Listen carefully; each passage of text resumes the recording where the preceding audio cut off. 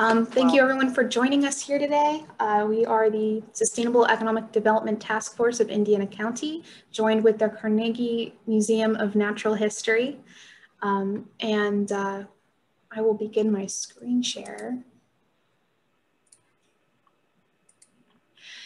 While we wait for more people to join our our webinar, um, I'll just give some fun, not fun facts, but a quick review of what the Sustainable Economic Development Task Force is and a bit about, about our history. We were started um, back in April 2017, um, whenever the Indiana County Commissioners held the first Sustainable Economy Summit. The commissioners at the time were Sherene Hess, Rod Ruddick, and Michael Baker.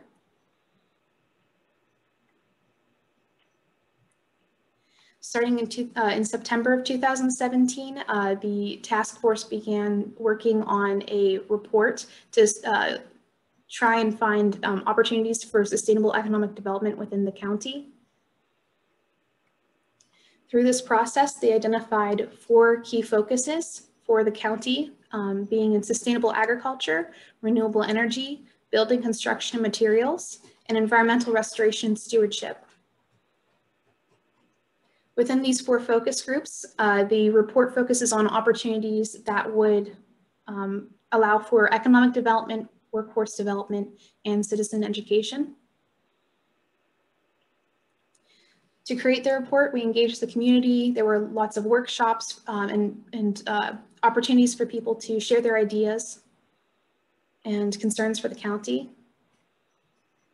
They identified, um, in addition to uh, actions or, and, and, recommendations related to the four focuses. They also uh, identified five executive uh, recommendations, one being to create a new mission for the task force uh, and um, identify a purpose for it moving forward. Um, to develop an office of sustainability. So far, we don't have an office of sustainability, but I serve as the sustainability coordinator to the task force in my position as a senior land use planner um, for the Indiana County of Office uh, Office of Planning and Development. Uh, they wanted to continue holding annual, uh, uh annual sustainability economic summits. And they wanted to incorporate sustainability into long range plans in the community. And finally, they identified the need for broad, uh, more broadband access in Indiana County, which I think is very relevant to uh, you know, our, our current situation here in 2021. Then uh, in September of 2018, they um, uh, revealed this report to the public and it was adopted by the county commissioners. Since then, we held a, another summit, Summit 3 in 2019. Um, unfortunately, we were not able to hold a summit in uh, the fall of 2020 due to the global pandemic. Um, but, you know, to serve as kind of a, uh, you know, to try and keep things going, we decided to have this webinar series. So this serves as our Summit 4. We've had um, a lot of um, opportunities for uh, sustainability across the county and a lot of partnerships that have um, been developed throughout this process of holding summits, um, sharing ideas, making new partners. Um, if anyone is interested in getting more involved with the task force or wants to learn more about us, they can check out our, our website, sustainableindianacounty.org. All of the recordings of all of our webinars are available at sustainableindianacounty.org.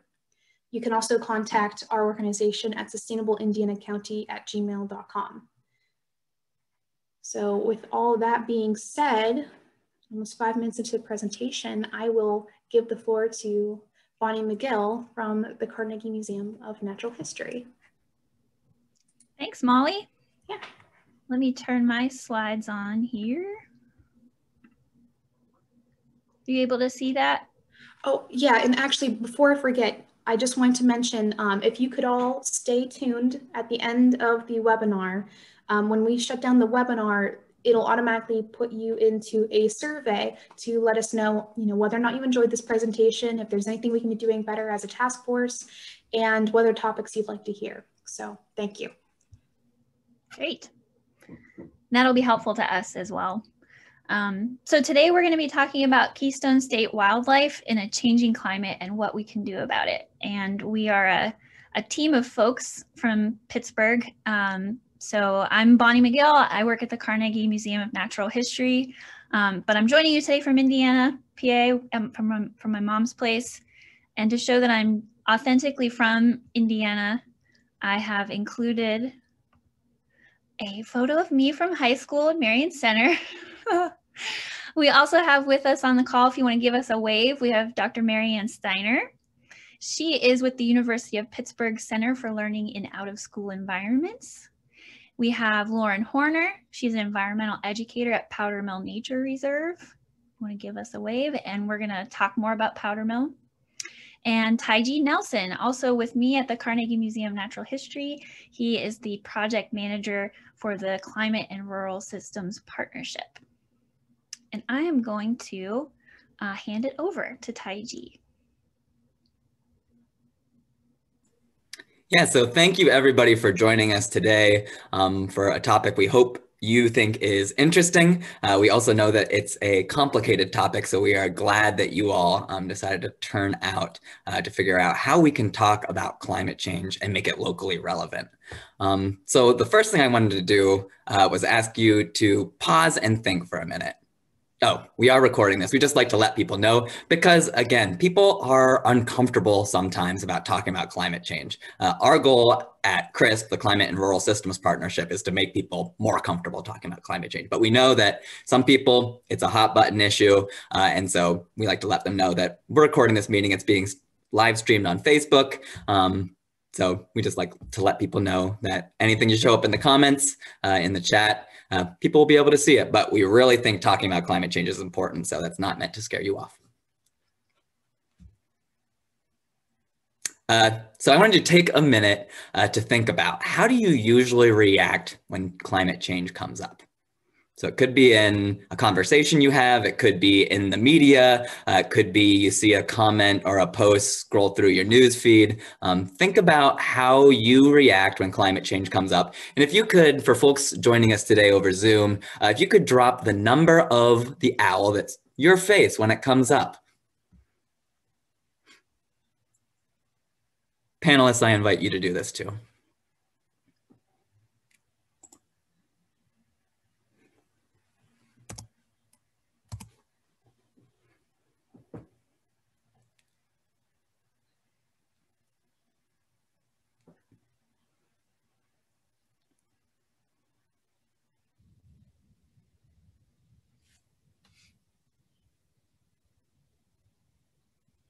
Yeah, so when climate change comes up in conversation, this is for Janice. Uh, when climate change comes up in conversation, uh, looking at these pictures of these seven owls, which do you usually, how do you usually react? I think sometimes it could be uh, you're stunned, you're not sure what to say. Sometimes it could be you're depressed. Sometimes it could be that you're like, I don't know about all that stuff. I think there's a wide range of reactions that when climate change comes up, you might be feeling. Chances are it's more than one of those at one time. At least that's how it is for me.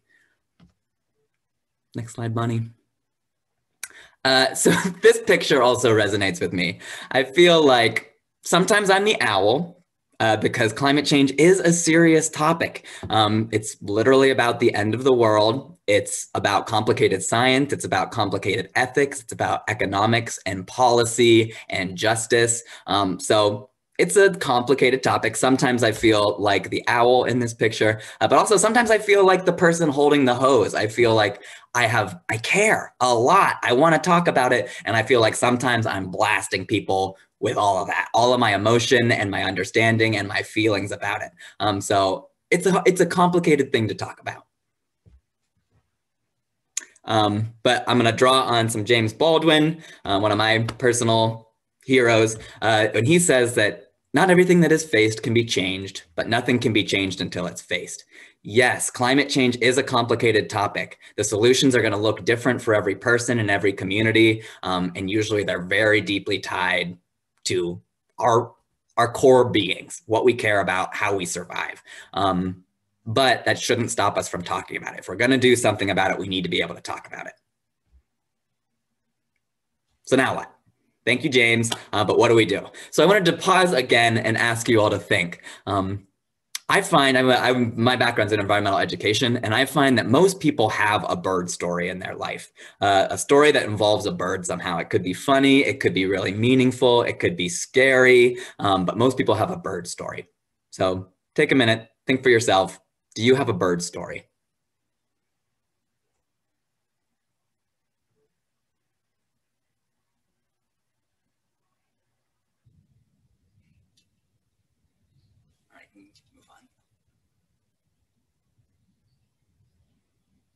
Next slide, Bonnie, please.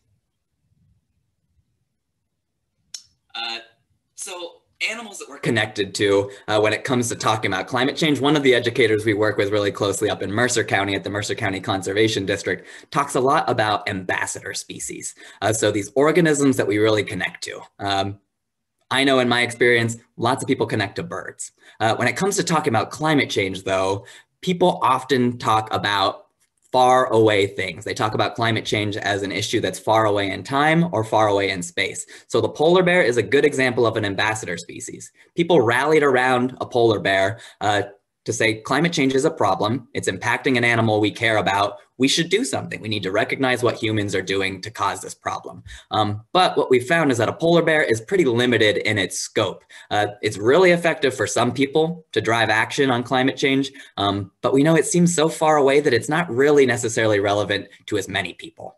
Um, next slide, Bonnie.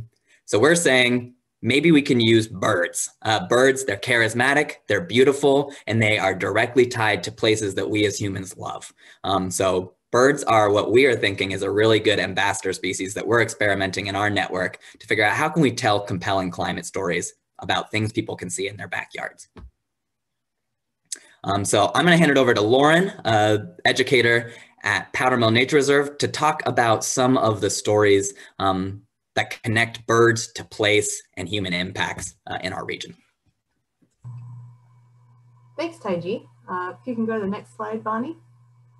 So as Taiji said, there are some amazing stories in your backyard, in our backyard, and you had a moment to kind of think about your bird story and a couple people are sharing, and that is really great. So I want to talk about some of the bird stories from Powdermill Nature Reserve. And you can see on this slide here, there is a picture of a bilateral gynandromorph rose-breasted grosbeak. So if we break that down for a second, bilateral meaning split in half essentially. Gynandromorph, G-Y-N for female, andro for male. This bird is half male and half female. So bilateral gynandromorph. And if you look at the bird on its right wing, you can see this rose color. And the right half of its breast is also starting to get some of that rose color. On the left side, you see kind of a yellowish orange, which is a really pretty color. That is the female side. That's the female underwing color of the rose-breasted grosbeak. This occasionally happens. And so this bilateral gynandromorph, thank you, Taiji, for putting that in the chat, was caught at Powdermill Nature Reserve. And it generated a lot of attention. It was picked up by National Geographic. It was seen all over the world. We know of someone in Indonesia who was talking about it. And I have also on this slide a map showing where Powdermill Nature Reserve is. So that little teeny red pin on the bottom right, that's Powdermill Nature Reserve. Indiana County is just north of that. And for reference, Pittsburgh is over there on the west. So of course we put this on the Powdermill Facebook page and we got a ton of response. Uh, 1.7 million people were reached by this single post. Over 9,000 people reacted to it in some way. I don't have the stats on here, but lots and lots of shares as well. So right in your backyard, this individual bird could have come to your bird feeder even. Let's bounce on to another story for, of birds at Powdermill. So now I want to talk a little bit about bird eruption. So when we talk about a bird eruption, that means that birds are migrating, certain species anyway, are mig migrating differently than they normally would.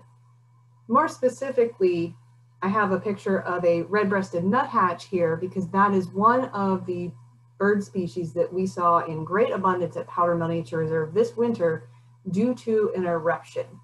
So that happens when there's a shortage or an abundance of food and the birds are following the food. usually it's a shortage of food. And in the case of the red-breasted nuthatch, they eat the seeds of conifers.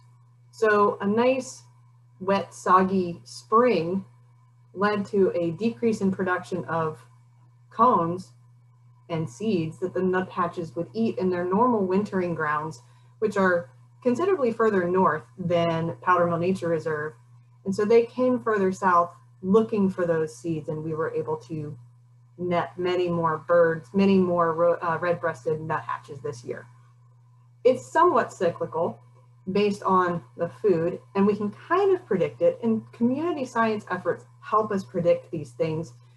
Things like Feeder Watch and the Christmas bird count really play a big role because we are able to say in this year, when we looked at these conditions across the entire year, we saw more red-breasted nuthatches. So then the next time we get a spring that's similar, we can say, I bet we're going to get a lot of red-breasted nuthatches because we're going to have an eruption year.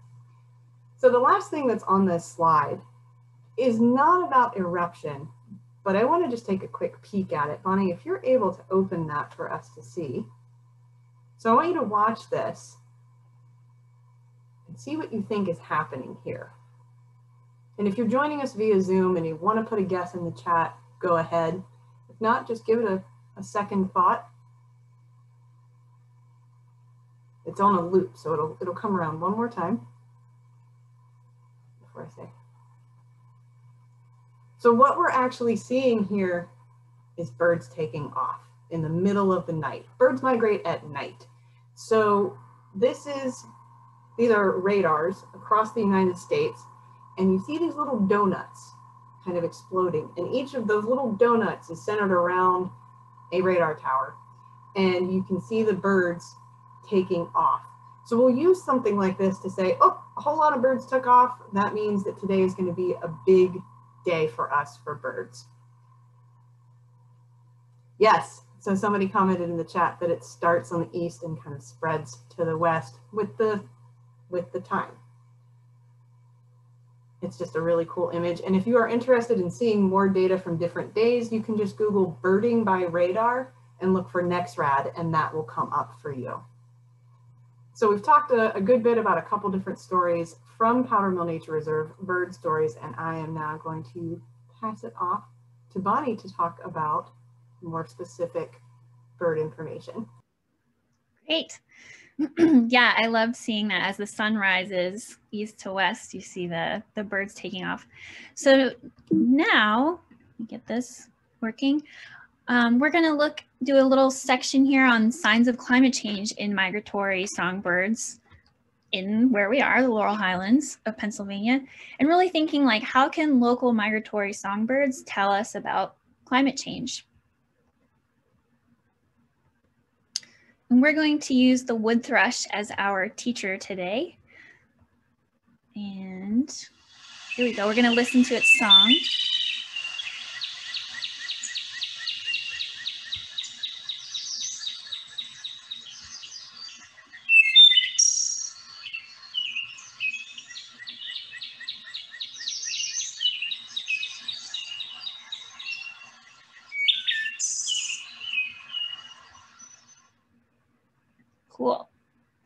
So maybe that's a sound that you're familiar um, with hearing. Um, that they hang out in deciduous forests of the eastern US in the summer.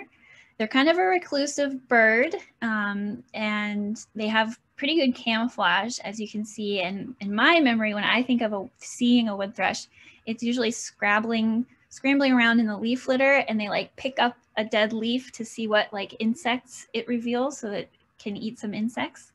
Um, they're still um, pretty numerous, but it's it has some rapidly declining numbers, um, possibly in part to cowbird nest parasitism at the edges of fragmenting habitat and to acid rain's depletion of um, some of its uh, invertebrate prey.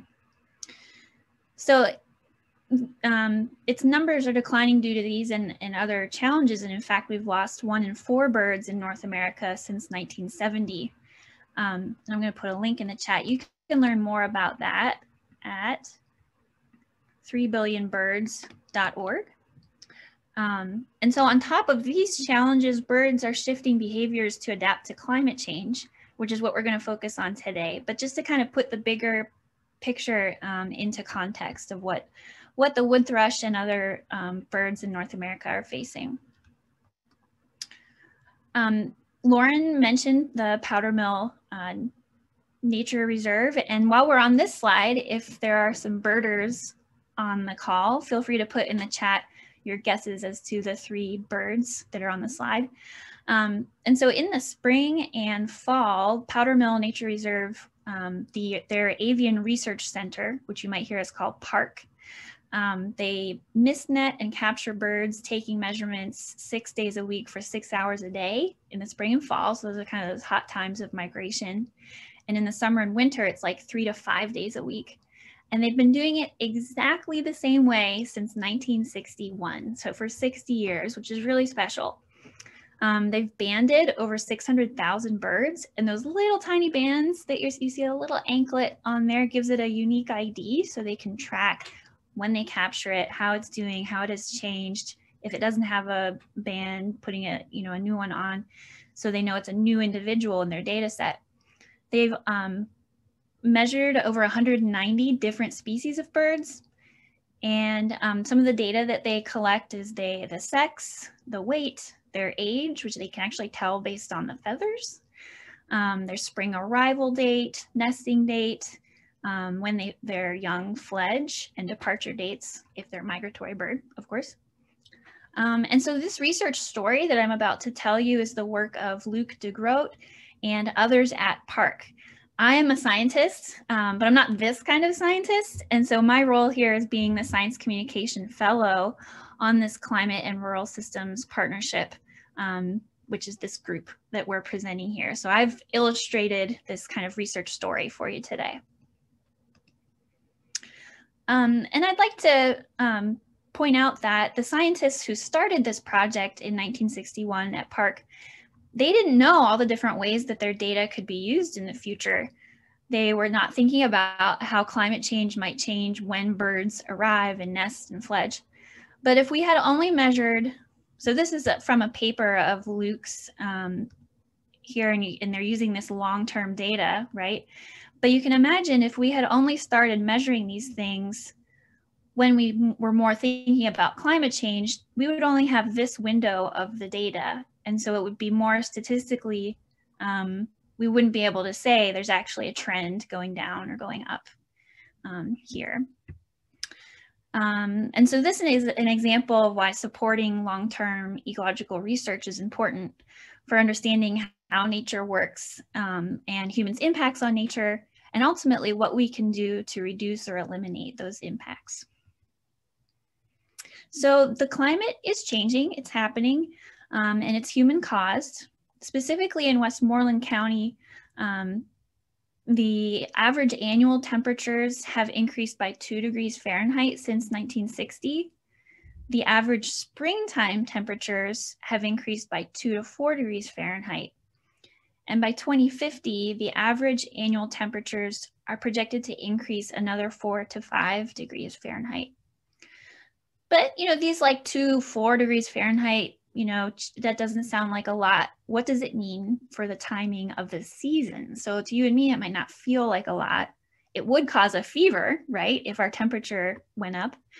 Um, and so that's what we're going to uh, explore here is looking to nature to see how does two to four degrees of spring warming that's already occurred, how has that changed things? So for every 1.8 degrees Fahrenheit increase in temperature, plants bud burst three days earlier. Um, and so this is a little, uh, imagine a shagbark hickory leaf bud there. And um, migratory birds need to arrive at this time, this bud burst time, because tree leaves have fewer toxins and insects, especially caterpillars, um, like to take advantage of those fewer toxins in the young leaves. And insects, like caterpillars, are the breakfast of champions for birds. So migratory birds need to arrive early to be on time. So arrive early according to our calendar, but in order to be on time according to the food web. And I just can't help myself but saying the early bird literally catches the worm, right? Okay. So, oh, okay. So those are my animations. And many migratory, so the research is showing, showing us that many migratory songbird species are responding to these warmer, earlier springs in two big ways. So back in the 1960s, when the PARC researchers started collecting data, the average wood thrush arrival date was May 5th, and now it is April 30th. So they're arriving five days earlier. Part of that um, is it's a little tricky to speed that up, right? Because if you're a migratory bird overwintering in Belize, you don't really know what the weather cues are up in Indiana, PA. So you don't really know you need to speed up. Um, and I'll also add that the wood thrush, as you can see in this kind of cartoon map, um, they spend one night flying over the Gulf of Mexico. Amazing, right? Okay, so they're doing that five days earlier. That's one of the things. The second thing that birds are, way birds are adapting is they eat, love, nest in a hurry.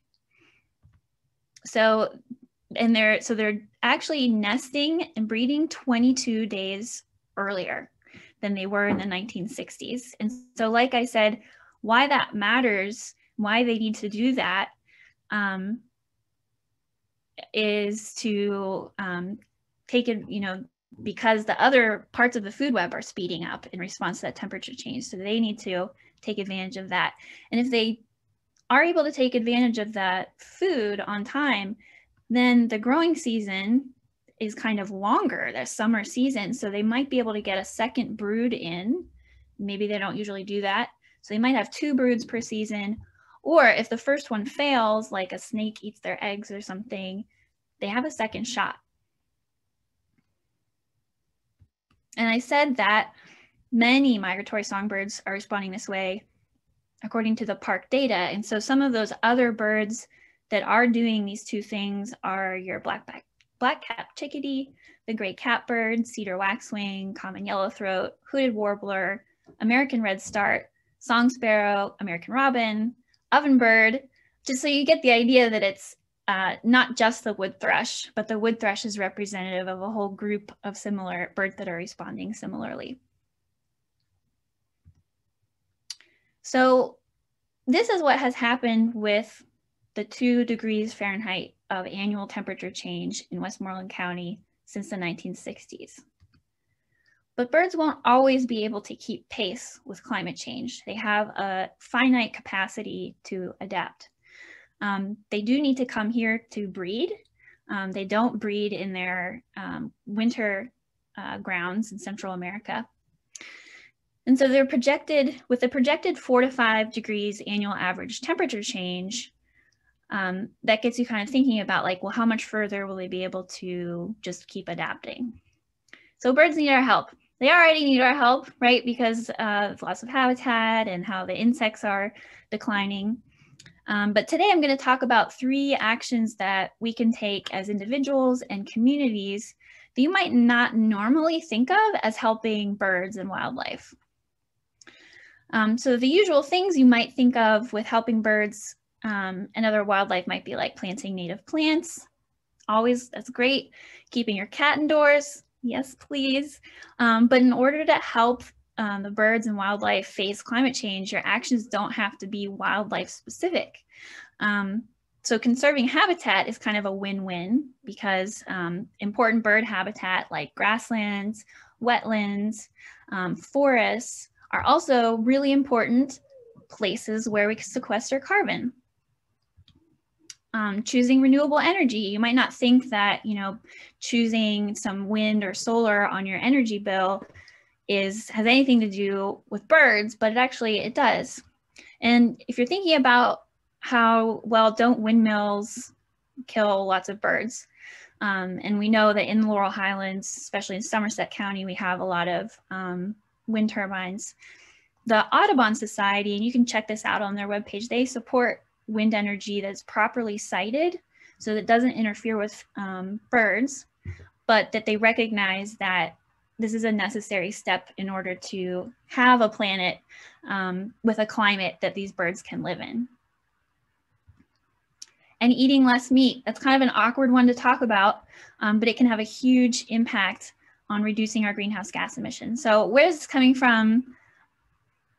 What, you know, like who am I to tell you these things? So um, Project Drawdown is um, an organization of academic um, folks, scientists, um, scholars who have said, okay, we have solutions. How much can the solutions have an impact on climate change so that we can start moving toward action and not just, hey, we need to collect more data. So what they're showing, this is a graphic from, from them, and they're showing us the current sources of greenhouse gases that are going into the atmosphere. So that's this kind of like rainbow. And they're showing us by different segments, different economic sectors, where those emissions are coming from. And those end up in the atmosphere. Oops, that's not right. There's some, okay, so those end up in the atmosphere. And then there is, uh, there's another end of the rainbow that comes down and that's um, removing some of those greenhouse gases back into the land into trees, into the ocean. The ocean does a lot of work for us, but there's like this leftover um, chunk that's left in the atmosphere that's beyond the capacity of um, uh, what we call sinks, these storage sites for carbon.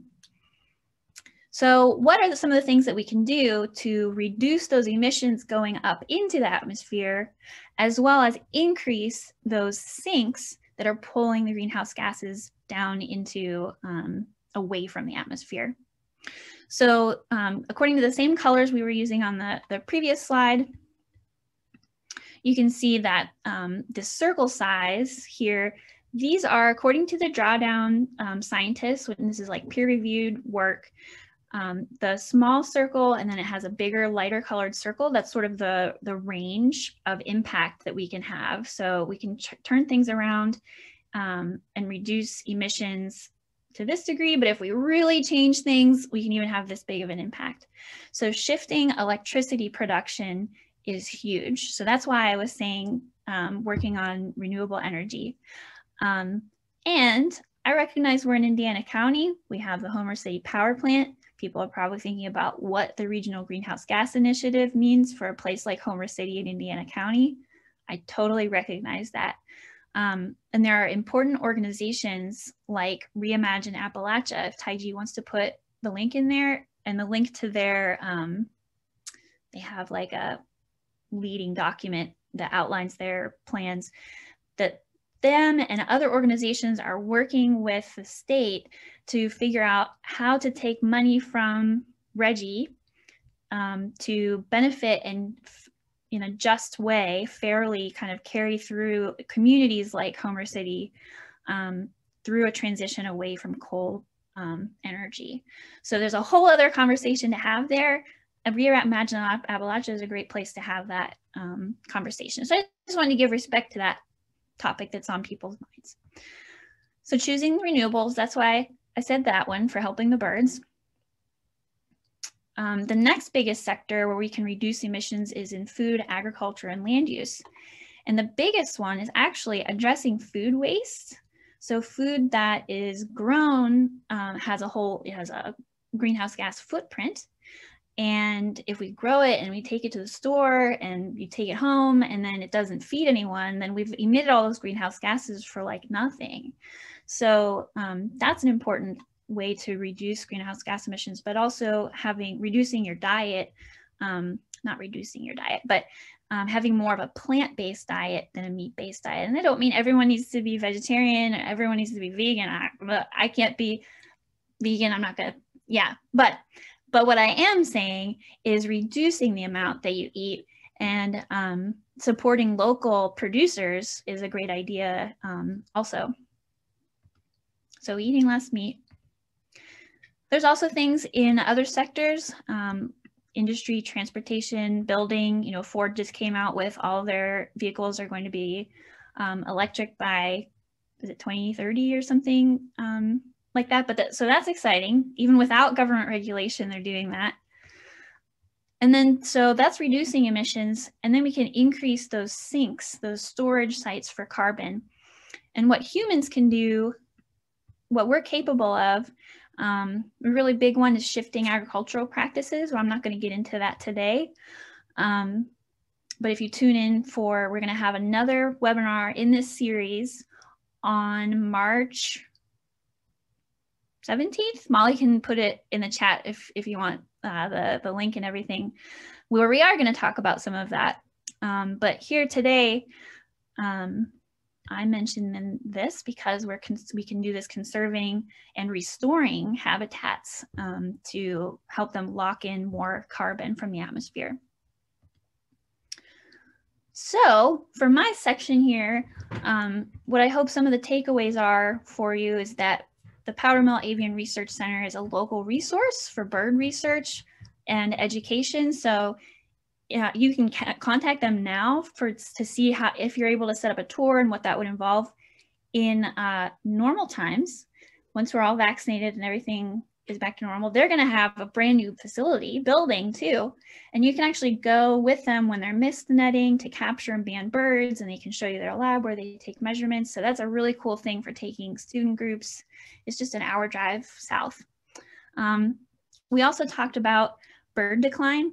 Oh, and I don't know if we said this, but to make it clear, Powdermill is part of the Carnegie Museum of Natural History just to make that clear.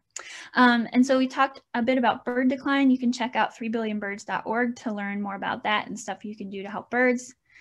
Um, we showed you that local research, the wood thrush, our teachers, they're responding to these warmer springs, so it's very real for them. Um, and we just talked about some actions that you and, and the community can take to reduce the severity of climate change, which will help birds and wildlife and ourselves. And now I'm going to turn it off turn it over to the wonderful Dr. Mary Ann Steiner. So I, we've just heard like this beautiful presentation that went from how do we think about climate change to a charismatic species that we care about, a story, a personal story we remember. And so I'm going to now sort of unpack the way that these folks designed this webinar so that we can think a little bit about how CRSP, Climate Rural Systems Partnership, is thinking about approaching having these climate change conversations. So the first thing I want to point you to is um, beep, is the um, Yale Climate Opinion Maps, which is a website that we can share too, where they've done collected survey data across the nation about how people are thinking about climate change at different points in time. And the most recent one says that in Indiana County, 61% of the people believe that climate change is global warming is happening. Um, and that's compared to 70% in Pennsylvania and 72% nationally. So it's a little bit more conservative, maybe than the broader community, but it's more than 50%. It's a majority of people. Beep and but the thing that where i'm struck is that while the majority believe climate change is happening only 35% report discussing it at least occasionally.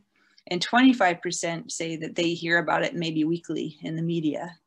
So you've got these people who believe and then these people who aren't you know you're just holding it inside right? So what are the barriers to talking about climate change? And taji touched on this as well in the beginning. So now beep so there's three big things in social science research, three things that we've been thinking a lot about. One is this sense of overwhelm. The scale of climate change is global. It happens over time periods that are much longer than my attention span, um, even though they're shortening and they're within my lifespan. And the systems are so complex that how do you like begin to wrap your head around it? People can get overwhelmed. Another thing is this sense of futility. I may have changed all my light bulbs. I might be composting. I might ride my bike when I can. But when I watch the news and I see typhoons and fires, and it's like, how is anything I'm doing going to make a difference?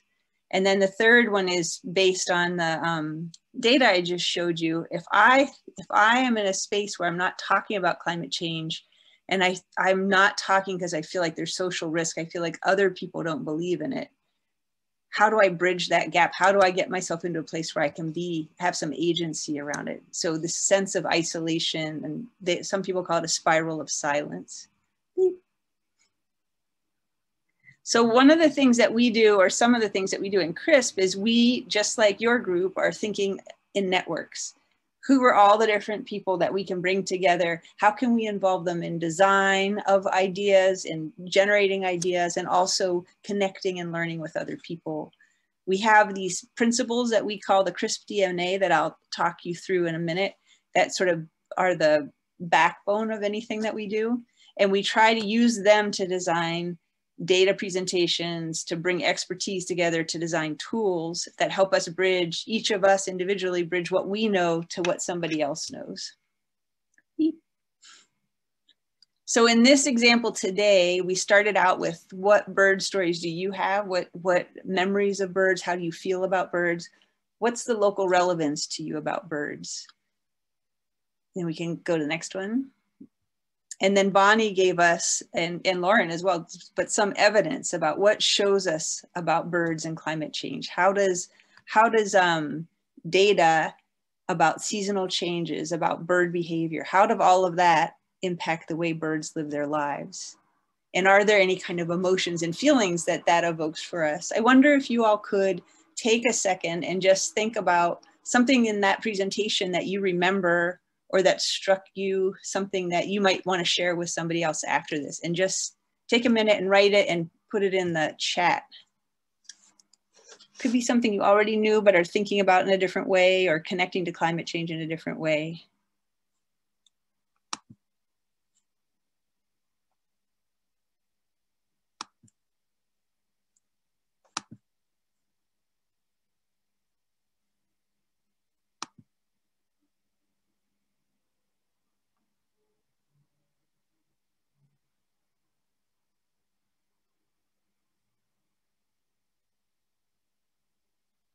Hmm.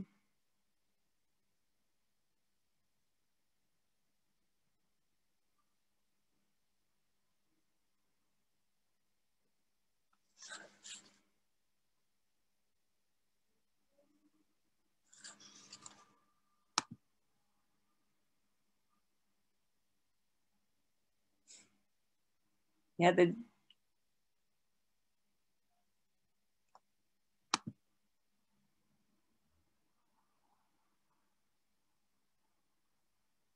Hmm.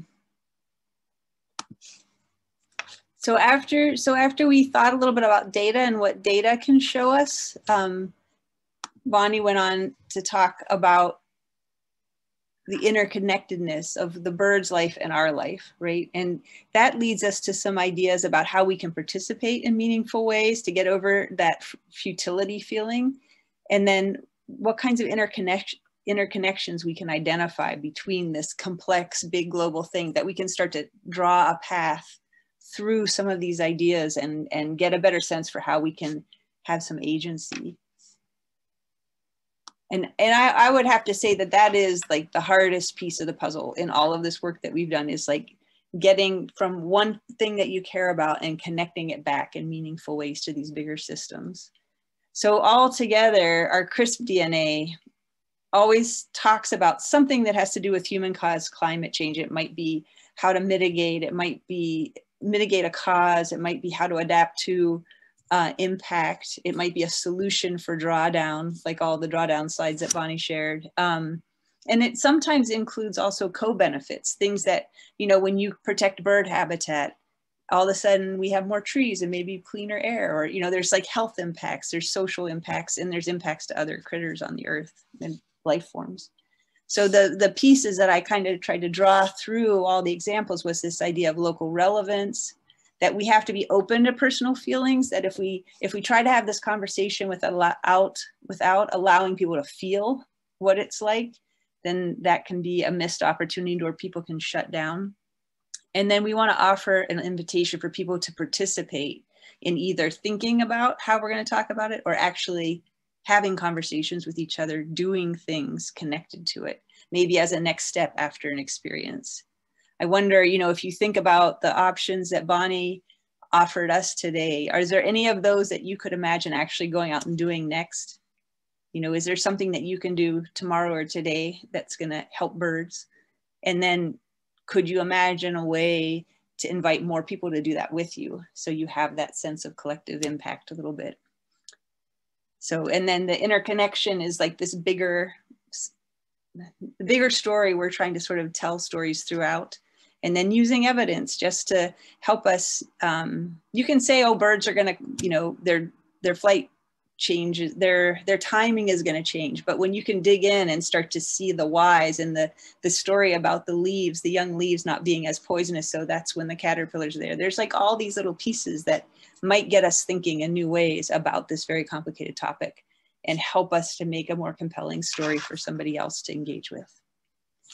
So my i think so yeah so we have lauren shared this this little poster. I don't know if you've seen it before. You want to take a minute to read it but the big idea is you're not alone that we all want to be a we and we're so excited that you're here at this call and interested in this kind of work um, because there this is such a complex project there is not one solution to climate change and the more people we have thinking and talking about it the bigger chance that we have to succeed.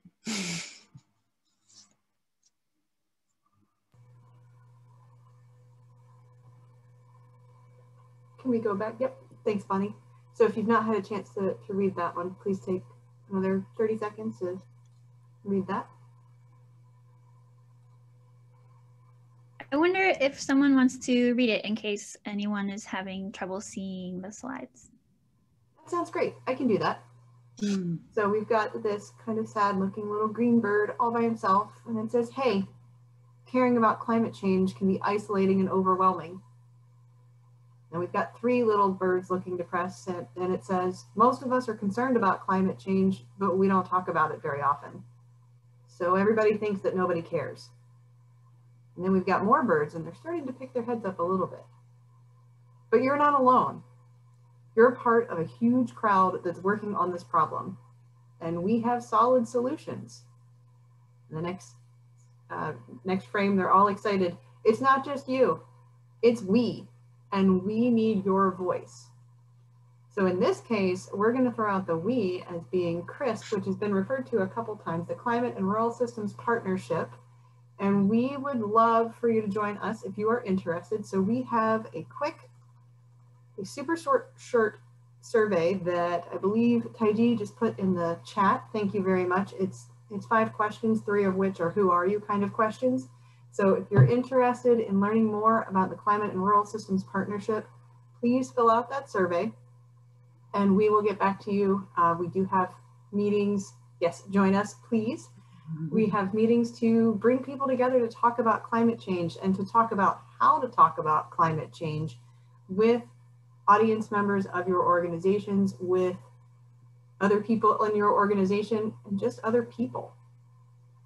We can also um, put that link on our website for later access under the section where we have information about this presentation. That would be wonderful. Thank you so much. Yeah, no problem. All right, so if we can go to the next slide. Thank you, Bonnie. So I want to know, we want to know mm-hmm. what your big takeaway from today is. So we're going to do a waterfall if we can. Um, so I want you to take about a minute and type something into the chat for those of you who are able to join us on Zoom today. Type something into the chat, your big takeaway from today's experience, but don't hit enter yet.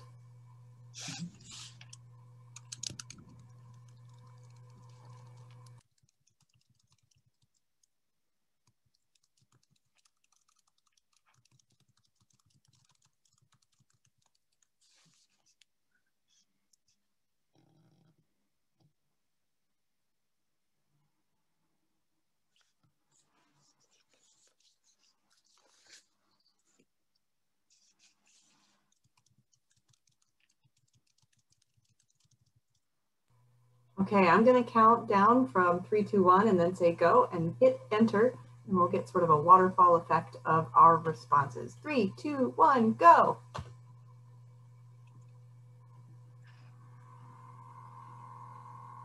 Okay. And uh, just for the um, people who are watching on Facebook Live, would you guys mind reading a few of your favorites?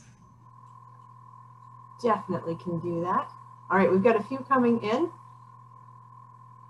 It does make me feel better knowing that there are folks out there, such as yourselves, who are doing great things. Thank you. That was very kind.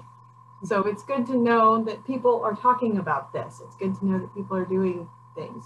Specifics about migratory birds and, and leafing out trees were great examples, and more examples are wanted. So that's good for us to know too, having more examples of things that we can point to about climate change. And that's something that we work on in the CRSP network too.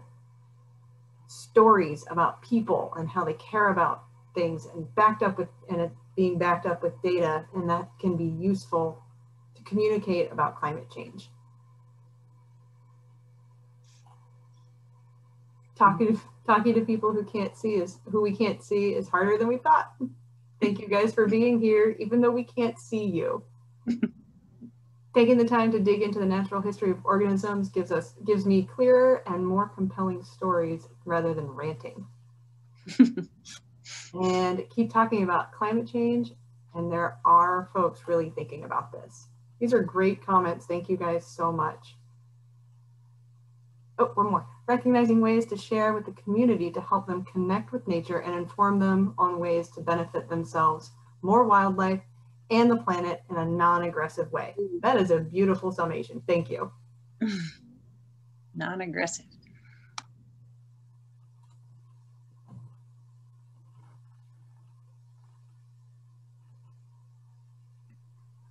Okay. Well, that is our show.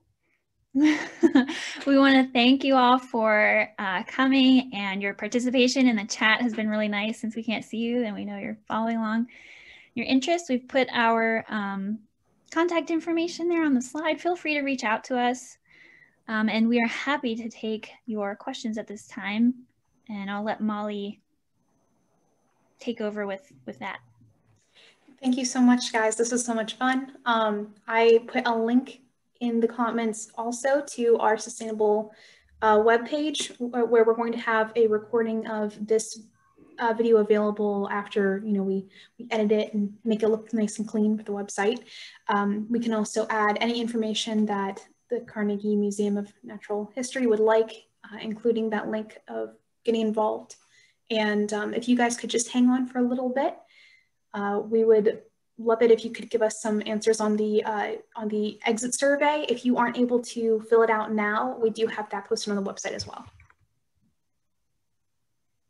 So um, and yes, there is there is a 2.30 meeting that um, I, I'm aware of. Um, so if you can go to the website uh, after that meeting and fill out that survey, that would be great. And we definitely want to know how we can do this better. The thing I love about CRSP is it is a group of people who cares about learning. Um, so if there's something that you thought worked really well, something that you thought was like, mm, maybe don't say that, maybe you could frame it differently, ideas, this is like, we totally want to hear from you. Um, it's uh, that's what I love about this. It's a group of people who really want to learn from and with one another. Yeah. Does anybody have any questions now for us?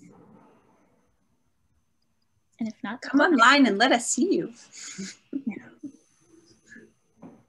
I don't think that uh, in this format they can share their camera, unfortunately, but um, we we can open up uh, if you if you guys raise your hand or anything like that, we should be able to see it and uh, give you the ability to speak if you'd like. Are You kidding? Yeah, he just hit his head. Actually, uh, he has this little globe toy um, that he's playing with today. It's part of the theme. How um, how is working for climate change in rural PA going?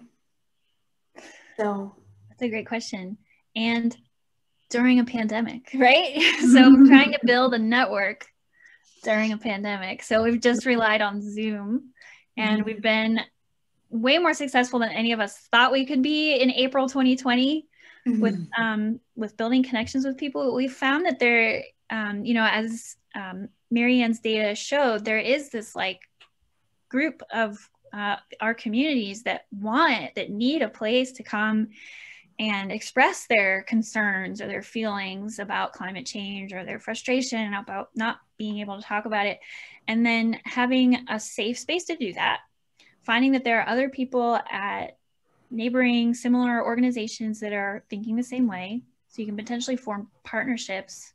Um, and people are doing that in our networks. Um, so one of them is Laurel Highlands region, and another one of our regional hubs is um, up in Mercer County, uh, kind of the Shenango River Valley area, so kind of north of Pittsburgh. Um, and so this first year of the project, we're just finishing up first year, it's been mainly focused on the network. And so recruiting people to join us, people that are trusted messengers in the community and training um, them, listening to what some of their questions are, how we can provide skills and experiences. Actually, Cindy Rogers is on the call. She um, mm-hmm. is one of our network members that we've been working with. Um, and she got us connected to give this presentation today. So thanks, Cindy. Um, and so we're hoping in the second year now to to do more publicly facing outward, which again is challenging during a pandemic because we don't really like have these gathering places of the community. Um, and so our challenge is um, to maybe help create creatively create some of those venues and experiences to pull people together to have conversations. Um, any other comments from the team on how climate change in rural PA is going? Yeah, I've been struck by the network and the diversity of the types of people who join the network. I mean, you have your like the people you expect to see. It's like the land conservancy organizations, um, watershed groups, um, educators, a lot of that stuff, parks professionals. Um, but we also have really engaged um, artists, uh, farmers. Um, we just see climate change, and we're seeing that people see climate change as something that's impacting their life. Um, you don't necessarily have to be like a tree person, like a tree professional. I used to work in parks, and um, you know, it's like, of course, you expect to see a person like me at the climate change table. Um, but we're seeing that there are the be- the best conversations happen when you get a diverse group of people together um, that kind of talk about what does climate change mean in my life to me to what i care about um, and kind of work on crossing boundaries is something we talk a lot about um, just like different perspectives and trying to find like what is that middle ground? Where do we agree? Where might we be different?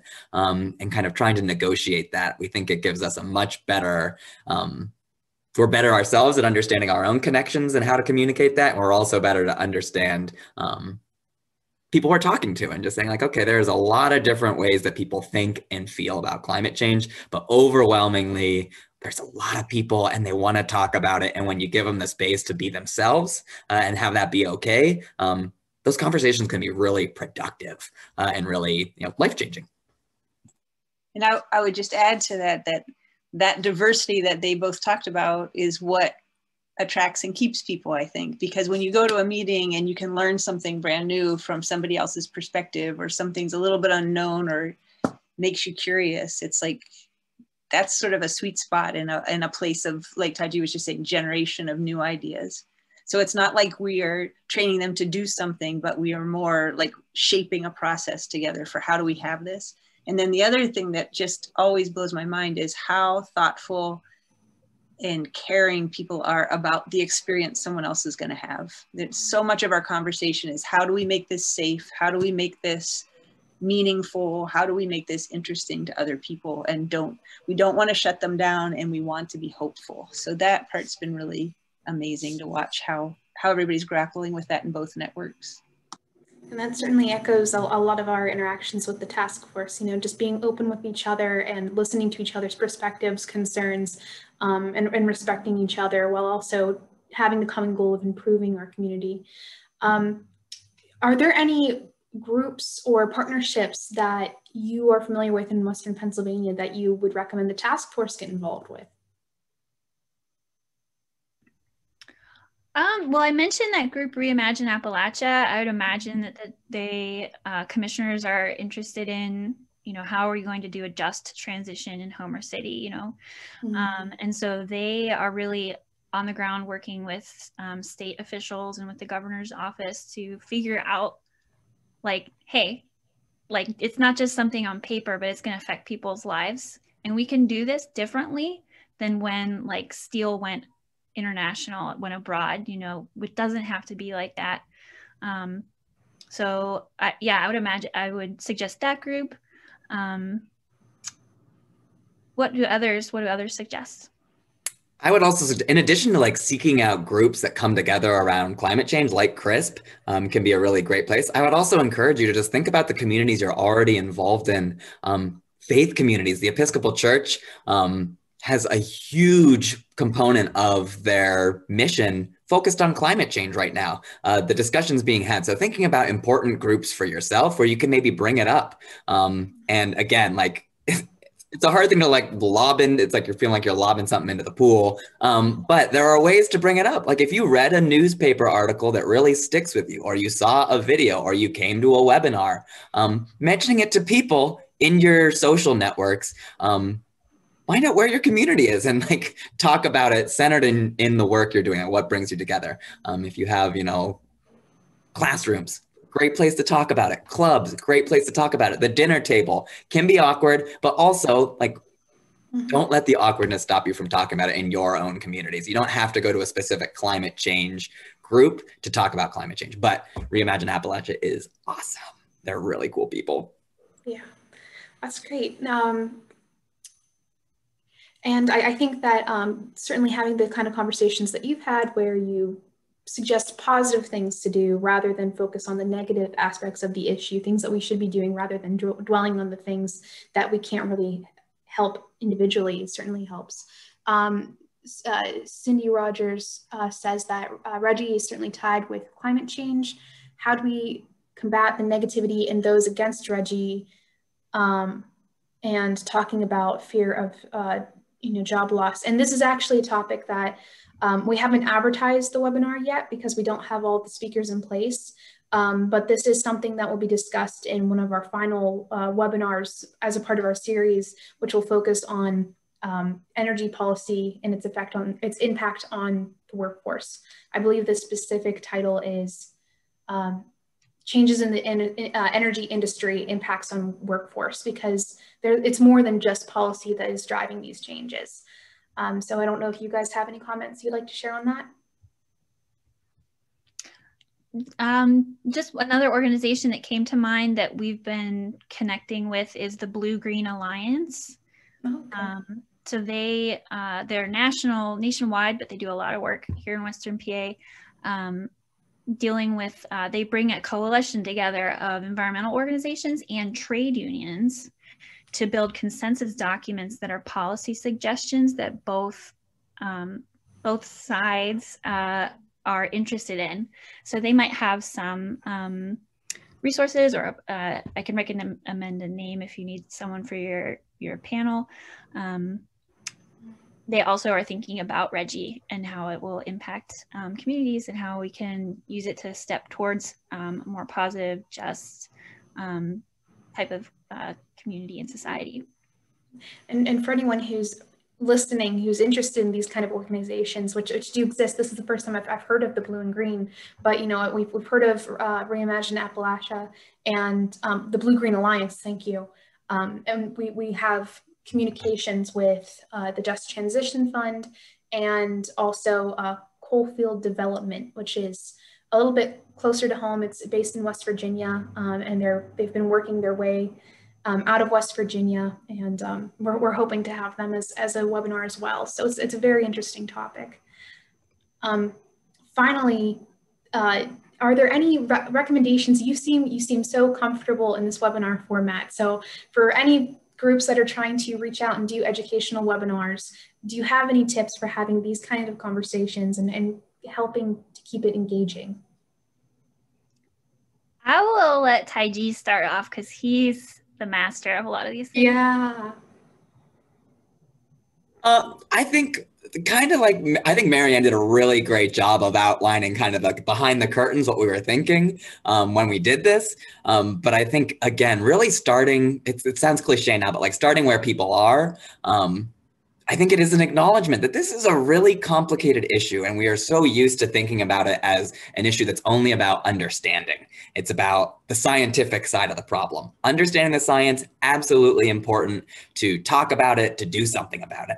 Um, but recognizing that it is talking about people's lives, and people's lives are complicated.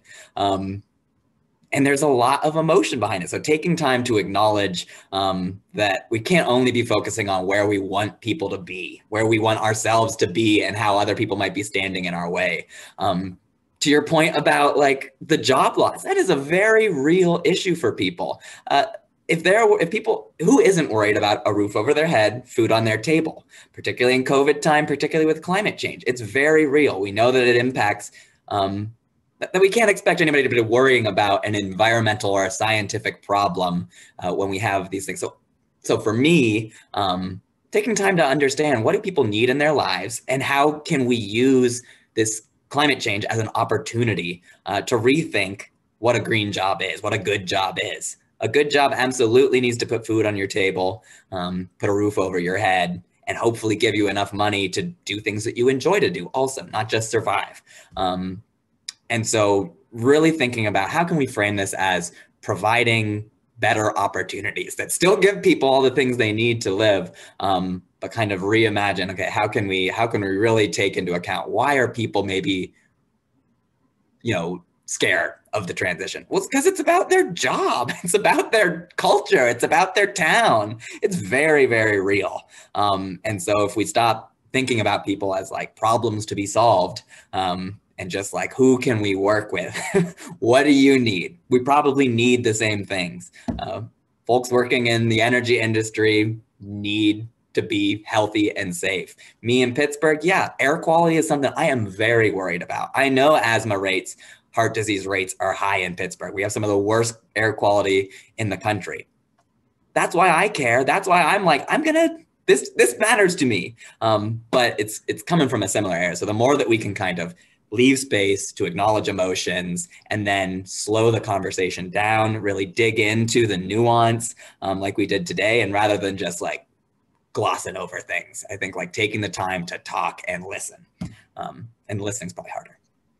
And I would just say on top of all those things that Taji just said is we constantly have to remind ourselves to reverse the narrative, like start with oh wait oh no that's right. We have to start with what people are thinking about. We have to um, you know and then we say oh we'll start our outline our we begin our outline and we start in the normal way. And then we go oh no wait got to flip it. Got to take something out that we thought was important and remember what we really believe is important. That's where the dna is helpful like just to remind ourselves oh are we talking about systems yet oh are we talking about relevance are we talking about is there a place for emotion here uh-huh. so maybe giving yourself a tickler list of things you want to make sure all the stuff that you know is working with your network, right? You know that it's important for people to make connections to each other. You know it's important to have, like Taji just said, the time to talk about it. So don't allow other formats to take that time away from you or or your desire to teach everything at once, you know, like pick something and just really explore that thing. And we still struggle with that. thank you. That's all excellent. Oh, go ahead, Bonnie. I was just going to add, like for Zoom specifically, some of the things we found is like changing it up every 20 minutes. Like people don't want one face talking at them for like an hour. So that is really cool. Having ways for people to interact. We use Google Jamboards, we use polls, we use the chat a lot. And we're working with, you know, um, mainly like middle aged folks. And so you might at first be like, oh, they're not going to be able to use Jamboards. And they've come along with us using all of these cool interactive things. Um, so things like that are some of the some of the tricks I don't know that help us with Zoom. Those are all excellent tips and advice, and you know, uh, thank you, Taji. I think that you you you hit the nail right on the head. Uh, this has been an excellent webinar, and we're so glad that we got to have you guys today. Uh, are there any final questions from the audience before we close out? give it a few seconds in case someone wants to type. Thank you for having us as part of your, your series, your summit, Molly. Yeah, and we're, we're thrilled to have had you. Thank you so much. This was great. Just kind of following up with the, the logistics of Zoom. Don't let, Bonnie kind of said it already, don't let it be a barrier to having interactive conversations. Use the polls that are available. Use the chat feature. You know, we did that, that waterfall. We asked you some questions. We ask you to think about which owl are you when we say the words climate change. We gave you a space to think about your personal bird story. And that's a way that we make things crispy. We make it personal, we make it relatable. And so all of the things that not all of the things that we would do. You can't sit across the table and have a cup of coffee, but you can still have a conversation with your audience, and that is key. Okay. Well, thank you all so much. Um, and remember, uh, you can find more information at our website, uh, which is uh, sustainableindianacounty.org. Uh, go to the Summit IV Webinar Series tab and it'll take you from there. And uh, stick around to fill out our survey if you can, if you don't mind to do so. All right, thanks everybody. Bye.